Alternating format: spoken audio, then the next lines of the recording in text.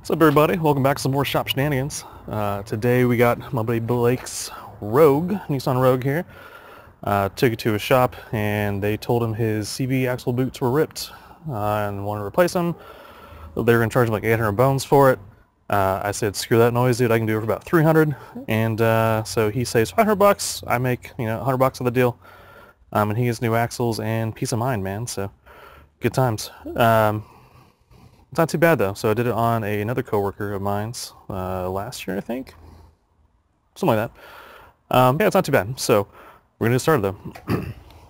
All right, so side cutters here to get this cotter pin out. We're not gonna take this bolt completely out. We just want to loosen it with the uh, car on the ground. So I've got the wheel to hold everything in place for me. That cotter pin's already broken. Huh, good times. Oh well. Alright, so once again, you need a 32 millimeter socket. We're just going to break this guy loose. Mm. There we go. Then we do the same thing to the other side. Alright, cotter pins out, and...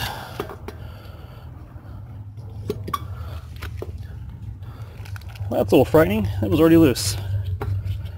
So the cotter pin was the only thing holding that thing in. Good times. And while we have it on the ground, take a 20 mil socket, 21 mil.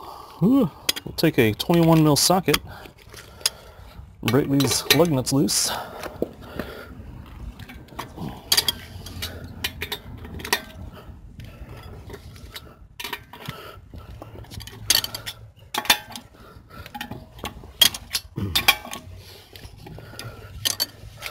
And we'll do the same thing on the other side. So we got the tires loose, the uh, axle nuts loose. Now we just need to lift this guy up and uh, put on jack stands. We need to chalk the rear wheels and uh, we'll drain some transmission fluid I'm going to flush that while I'm at it.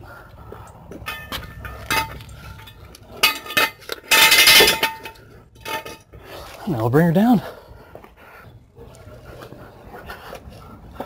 Welcome to underneath Blake's Nissan Rogue here. So we got oil pan, looks like there's a leak there. Uh, I don't know if it's off the main seal or what. We'll look at that later. Over here's the transmission though. I've already loosened this uh, this drain bolt, which is nice it has one. Otherwise you basically got to pull the uh, the whole uh, pan off. So whenever you're doing this, it's important that it's important that you get the same amount of fluid back into it, right? Because you want to have the right at the proper level. So I'm basically going to drain out. I'm it to, to a jug, and I know how much to put back in. It makes it a little bit easier, um, as opposed to starting up and having to get too much or not enough, in which case, you know, not enough is easy to fix, but I don't want to damage anything in the process, so we're going to pull this drain bolt out, drain out what we can, and then uh, pull some axles and go from there. Let's see how bad of a mess I can make here. I'm surrounded by bees and wasps today. It is nice out though, so. Alright. He said he has no idea the last time it was it was uh, flushed, so that's kind of dark. Go figure. Things has like 160, 170,000 miles on it, something like that. Um, I mean, I still see it's not like straight black, so, but either way, I had a, a nice, totally empty uh, drain pan here before, so I know exactly what I'm going to pour back into it. Not this stuff, but something new and nice. Um, this is also a CVT transmission, continuously variable, right? Transmission, I guess the T would be redundant there. Either way, uh, but it takes NS2, so uh, make sure the stuff you're using has meets the NS2 requirements for it. So let that drain, and then we'll go ahead and pull some wheels off and uh, see about getting axles out. So um, whenever you pull the axles out, you're going to lose some fluid anyway. And if I gotta buy some fluid, I might as well buy a case because it's cheaper by the quart that way anyway, you know? Instead of, you know, 20 bucks a quart ends up being more like 10. So, um, if that, I think it was like 30 bucks for six quarts. Yes, you're talking five bucks per quart, which is way better than like 10 to 15. So, something like that. Either way. Um, either way, it's definitely cheaper. So, um, you know, it's kind of angled right. I might actually lower it back down and, uh, whoa sliding down the back of the uh, transition pan there. So yeah, I think I'm gonna lower back down and uh, drain this stuff out as much as I can. Cause that's gonna be worth it. So So whenever you're doing a, uh, a drain and fill like I'm doing, you want to get as much as you can. Uh, the torque converter is still to hold some fluid. That's okay. Um, it's the same thing as getting a flush at a transmission shop because basically it goes through the, uh, the cooler typically is where they hook it up at. Uh, everything just go back to the kit, the pan. So it's not like all the bad stuff comes out and only good stuff goes in. It's like bad stuff comes out, sure, when you start off anyway. Then all goes back to the pan, mixes up anyway. So drain and fill is just as good, and uh, anybody can do it too in their driveway. So yeah, let's lift that back up. Let's lift the back end up and uh, see if we can get some more fluid out. All right.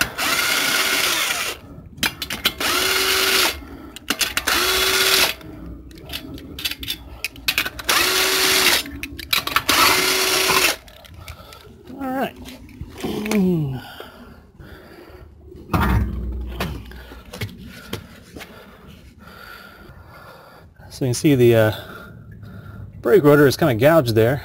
Um, it brakes just fine. There's no there's no pulsation. It's kind of nice. So, uh, kind of weird. Um, but all good though. We're not here for brakes anyway. This brake pad's getting a little low. Want to think about changing that, you know, in the next year or so maybe. If not sooner. I'll let him know. Or heck, hey Blake, if you watch this, that's how much pad you got left. It's not a lot. So uh, most pads are, you know, probably about two to three times that thick for a new pad, so uh, no big deal. Still got, still got some life left, so. So this is our axle here. You can see it's dripped some grease down there. Um, see that boot's torn right there. I guess got to go. I want to say this boot was okay. Just kidding. No, it's not. It's ripped right there too. So right in there, it's ripped. So that whole thing's coming out. No big deal pull this bolt out, we'll probably need to disconnect that upper strut and just lean the whole thing forward. Well, towards me, towards the side technically. So, um, and then we will go from there. so for my birthday this year, my uh, my stepson was like, "What do you want?" And I was like, "I don't have a 21 mil wrench. I would love to have one of those." So he got me a 21 mil wrench. I think this might be the first time I use it. Unfortunately, I, I told him that he'd be hanging out and working with me whenever I use it. But uh, bleach the next one, little man. It's cool. It will be used again, I promise you. So. Mm, okay. See if I not get a hernia doing this. All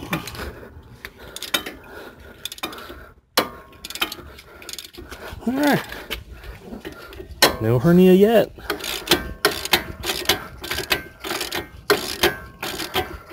It's early though. I guess I could still get a hernia. Just because I have insurance doesn't mean I want to use it. Alright.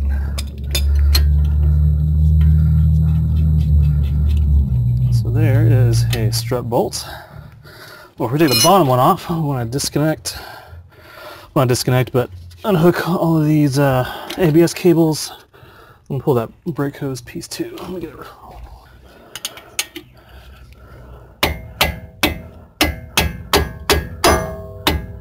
There we go.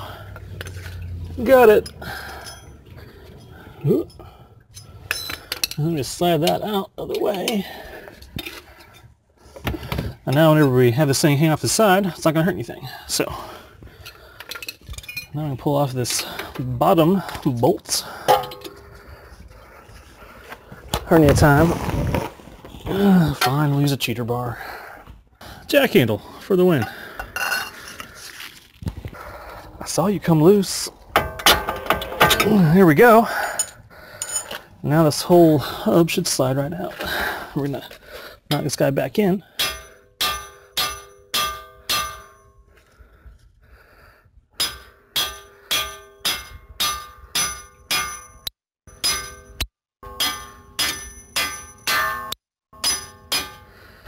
All right. All right. So this axle is totally out now. Ta-da!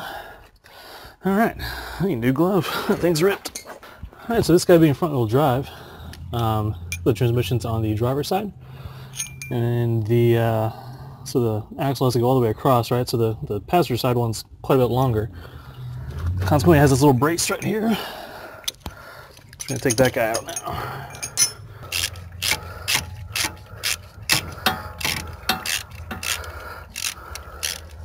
All right. Now this should just slide off. All right, now the hope is whenever I pull it out of transmission, we're not gonna lose any fluid because we drained a whole bunch out, so. Well, here goes nothing.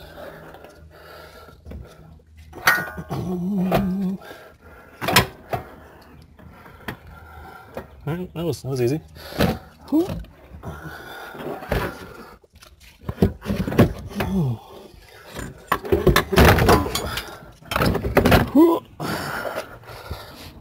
So this is what it looks like with it out. So you see this boot right there was torn, so grease is getting out. Well, it's not too bad. This one, on the other hand, grease is getting out and other crap is getting in. So that causing them to bind up. Basically destroys that CV joint. So cause vibrations first and it gets worse from there. So we got brand new ones going in for them. So I also like how we didn't spill any transmission fluid. That makes me happy. All right, well, time to throw this one back in. Well, not back in, but the new one in. Just to compare new to old, right? So brand new boots, brand new joints, of course, right? Comes with a new nut as well, as well as a new cotter pin and a castellated nut cap, I guess, if you will, for that guy. So, so we should be good. Also new new transmission seal right there, right? So should have no issues, man. The guys look pretty good. Ready for new stuff. A new uh, new bearing right here too. That's gonna go in that little cap that we took off. Let's throw this guy in. All right.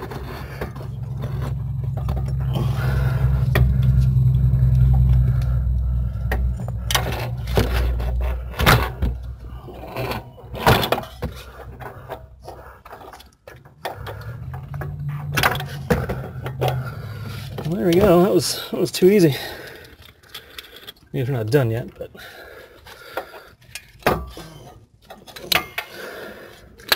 all right. Cool. And we'll tighten these down. Oh, the wife's home. Sweet.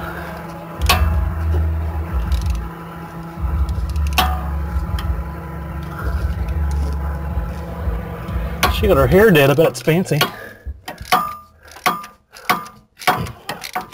What's up, pretty lady? How's your hair? I like it. Yeah, see, so down the, the color there. Yeah. Pretty weighty. What's that? I'm gonna put on YouTube just because I can. Done. Done. Use a YouTube star, girl. I will blow out your face, but not your hair. No.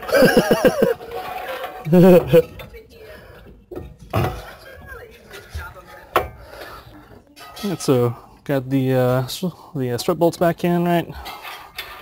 I screwed that axle nut on there. Whenever we tighten it down, it'll actually pull all the way through, which is kind of nice. So uh, this side's basically done, man. So well, okay, not not done. All right, last but certainly, certainly not least, you want to hook up these ABS sensors again so they don't get caught in the wheel, because that would suck. As well as this brake line pops in like so. If I can get it. There we go. And then this clip goes in like so. Once I give it some love taps in. Boom! Good as new. Cool. All right. Now it's time for the other side. All right.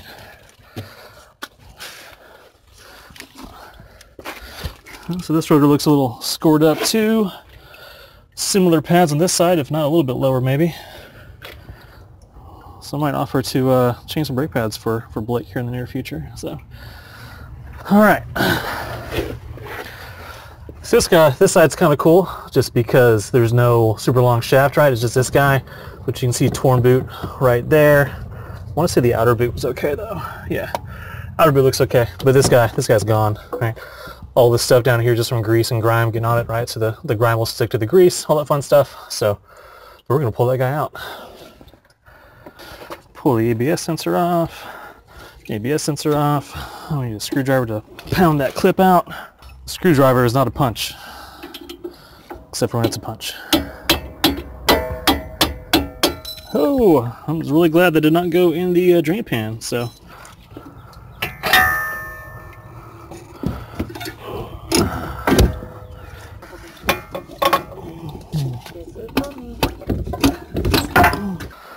Right, another new and old comparison here. I guess I could flip them so they're facing the same way. Either way, right? So transmission side, all the good stuff, right? So got a new seal on that guy.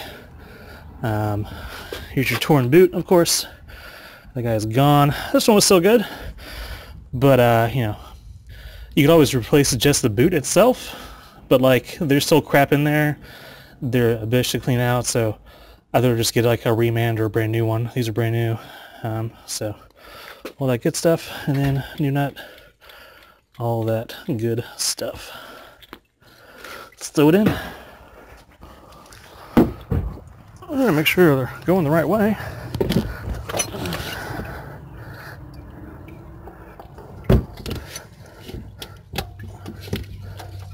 All right.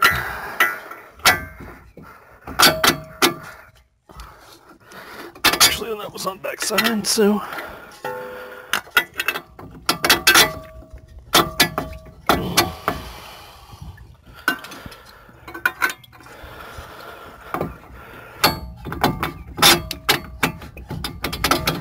There we go. So couldn't quite get this one pressed in all the way, so I'm to put the old nut on. I'm to be on that guy to basically push this thing in. That way I don't damage these threads. I'm just going to hit it on this nut, which I'm not going to hurt.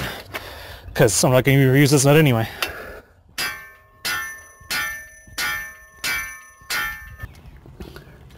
And we are in there. Cool. Alright pull this guy back off. And ABS sensors are back in. Let's get this brake line in here as well. Where's the clip? Here's the clip. Now I'll smack this guy in place. There we go, not going anywhere.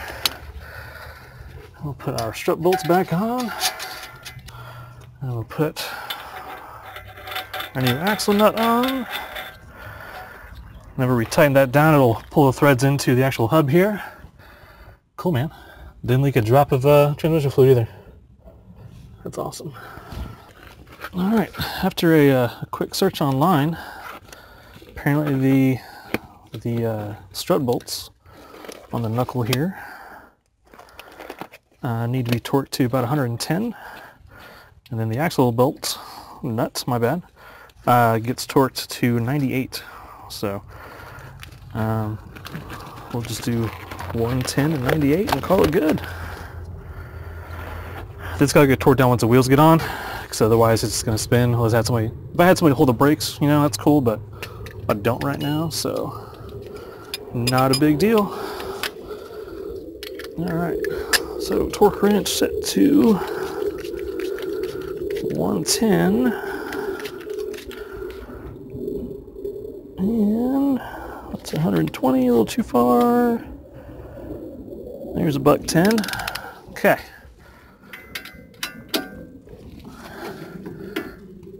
And Of course that's going to turn on me.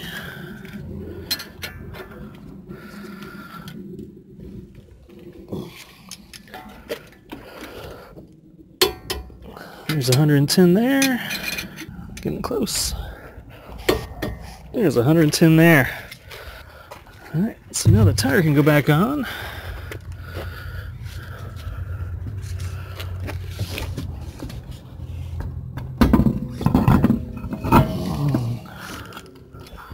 Alright, looks like uh, that's all we're going to get out of there. Which is cool with me. Put our uh, drain plug back in. The gasket still looks good. Trying to cross thread it. there we go. Alright. 19 mil. And get that guy nice and snug. Cool. Alright. I'm gonna wipe this guy down. And I'll take some brake clean to it also just to get all that fluid off. And it'll look brand new. Alright, brake clean time. Oh yeah. Let me some brake clean. A few drops dropping in my, uh, my transmission fluid oil there, but it'll evaporate, so it's cool. All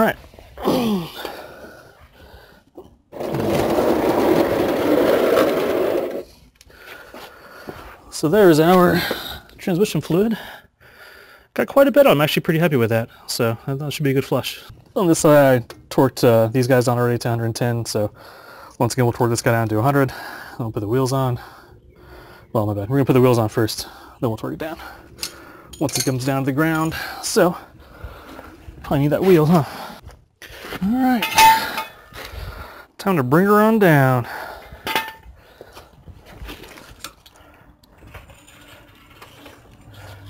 So the neat part about the uh, stud bolts is they are 21s, just like the wheels.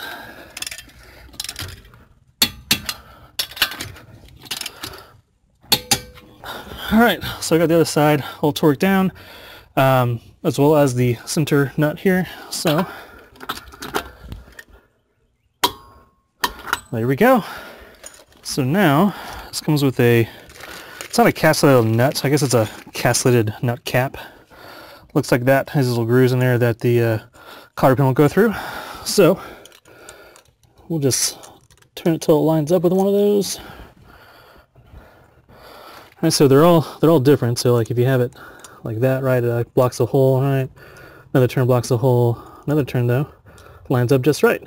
So you don't have to worry about like loosening this guy or anything. Um, we'll just line up like like that that guy through there. And then we'll bend it around. And we'll be good to go. Just want to make sure it's turned to where it uh, won't interfere with pulling a wheel off. Or putting a wheel on for that matter.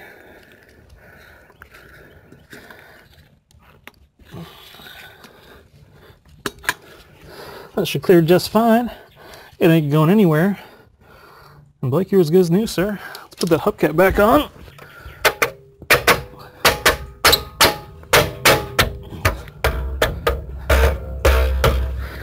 Cool. Alright guys, so we took that drain pan, right, uh, we I carefully poured it into a used oil bottle, right? Funnels are your friend here, right? So one, two, three, four, four and a half, so about, about five quarts really. So we'll throw, uh, we'll throw uh, four and a half in there and we'll check it, warm it up and stuff. Uh, don't want to go too much of course.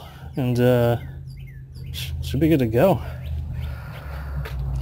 So the dipstick tube for the transmissions right here. I just got a piece of hose and a funnel hooked up to it right. That we don't spill anything. It'll slowly feed down into there and uh, we'll do that. So this is a Castrol's Transmax CVT. It meets NS2 qualifications, all the good stuff. Um, a whole mess of other stuff too. So uh, the wife's Lancer takes the same stuff. So I've had no issues with it and I like it. It should do Blake some good. It goes really slow through that little tiny tube. That's okay. And due to the editing of uh, videos on YouTube here, this will look like it didn't take any time at all. So look about about about an hour and a half ish to do all of this, and that's with me, you know, pausing to look up torque specs, taking my time, all that kind of stuff. Don't want to don't want to rush to work at all. So that's how stuff gets screwed up. I don't want to do that to anybody's car, especially my buddy Blake here. So, it was one quart. We'll give it a sec to make sure it all runs down the tube here. Right, we'll throw the dipstick back in here. And then we'll fire it up. Alright, so once it gets warm, I'll pull the dipstick back out. uh, while it's running. Check the fluid level there. Uh, as long as it all, it all pans out, man, then we should be good. And uh, as always, thank you guys for watching. We'll see you next time. Good day.